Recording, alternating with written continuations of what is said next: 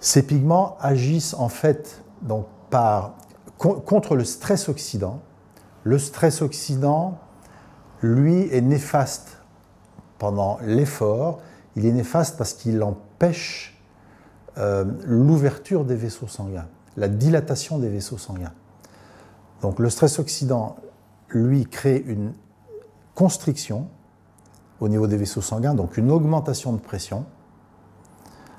Et il faut lutter contre ça. Pour lutter contre ça, il faut agir sur une, une substance qui s'appelle NO chimiquement, donc l'oxyde d'azote. C'est l'oxyde d'azote qui permet la vasodilatation.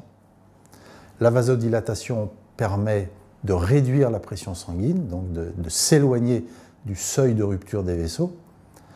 Euh, mais le stress oxydant donc perturbe le NO et empêche une production normale de NO par l'organisme. Le but de l'opération, c'est d'éviter la, constriction, le resserrement des vaisseaux sanguins qui entraîne une tension accrue et une rupture des vaisseaux.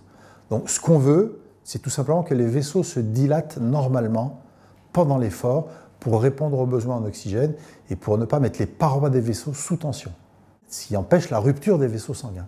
Le Twidilix est uniquement préventif, puisque le but est d'éviter la rupture des vaisseaux sanguins en permettant leur bonne dilatation pendant l'effort.